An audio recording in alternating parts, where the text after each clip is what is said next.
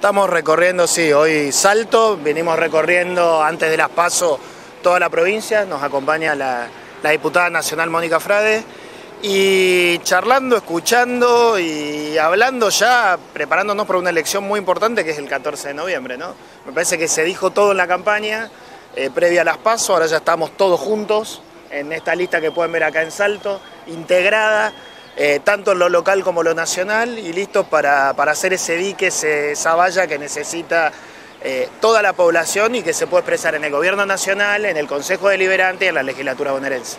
López Massa habló en las últimas horas respecto a la posibilidad de un acuerdo con la oposición después de las elecciones. ¿Cuál es la opinión de la bancada de la coalición? Que no es creíble que nos convoquen a un diálogo cuando, cuando entre ellos solo hay una disputa de poder que todavía no terminó.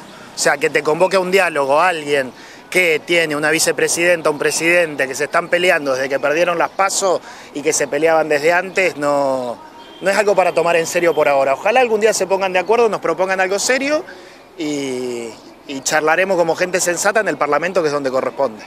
Eh, coincido con, Juan Manuel. Eh, primero uno tiene que consolidar eh, sus fuerzas internas para luego poder lograr los consensos necesarios. Eh, esto es muy importante, la gente lo está demandando, está demandando primero la unidad del frente opositor, nosotros ya lo hemos demostrado, hemos tenido unas pasos con mucho respeto, eh, siendo responsables de, la voluntad y de, toda la esperanza que la gente nos ha depositado.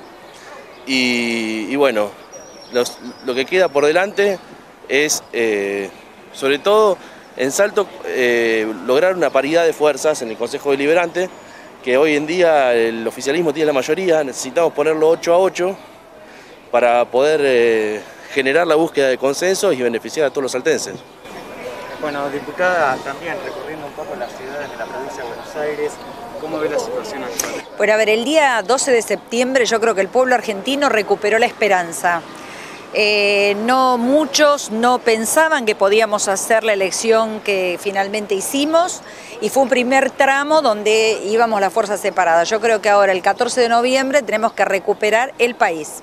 Así como recuperamos la esperanza, tenemos que recuperar el país y todos juntos, eh, ahora sí este último tramo es mucho más confortable para todos, tenemos la misma propuesta, tenemos el mismo lenguaje, así que nosotros este, estamos absolutamente confiados, y esto no es soberbia, que el pueblo va a acompañar esto porque es irrespirable el aire institucional y económico de este país, así que se puede vivir mejor y nosotros venimos a ofrecer eso hombres y mujeres que van a dar lo mejor para que este país salga adelante, así que muy esperanzada. Eh, diputada, se refirió precisamente a la situación económica, que bueno, la Argentina está sumamente compleja en cuanto a eso.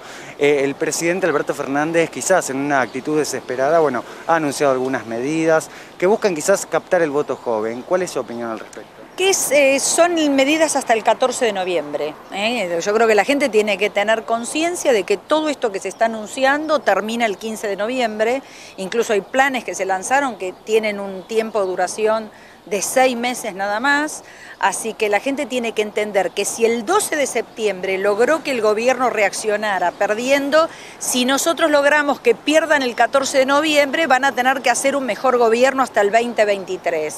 Así que la gente tiene que tomar estos beneficios que finalmente son los que les corresponde y votar otra cosa para exigir que el gobierno mejore de acá al 2023 y no que hunda el país. ¿Se subestima el electorado? Sí, absolutamente.